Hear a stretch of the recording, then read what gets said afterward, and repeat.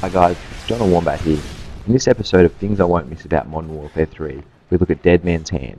Now, I'm not sure who at Infinity Ward decided to include Dead Man's Hand in this game, but any person who is bad enough to get 6 deaths in a row with no kills does not deserve to be given a reward which basically guarantees them a kill or more.